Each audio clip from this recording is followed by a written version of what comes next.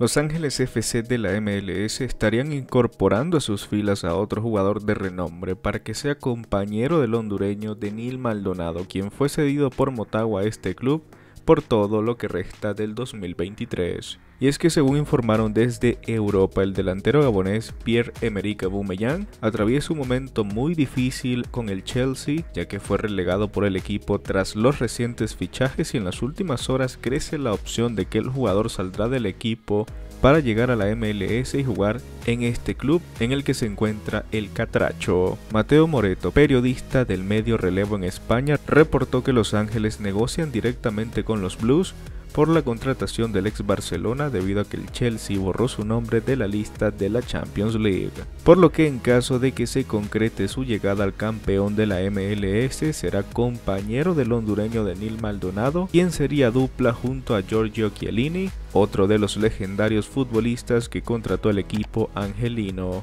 Cabe recordar que Aubameyang fue uno de los jugadores más destacados del Barcelona la temporada anterior siendo el goleador y uno de los más decisivos para el club blaugrana y debido a ese gran momento en España logró ser vendido al Chelsea, sin embargo, en los Blues no ha tenido la misma suerte. Además, la salida del técnico Tomás Tuchel del Chelsea empeoró la situación de Aubameyang, a quien Graham Potter ve como la última de sus opciones. Asimismo, los fichajes de Joao Félix, Tatro Fofana y Inone Manduque han provocado que el jugador ya no pueda ni disputar la Champions League. Y bueno amigos, ¿qué opinan de un posible fichaje del delantero gabonés por el LAFC? Déjenmelo saber en la caja de comentarios, suscríbanse al canal y nos vemos en un próximo video.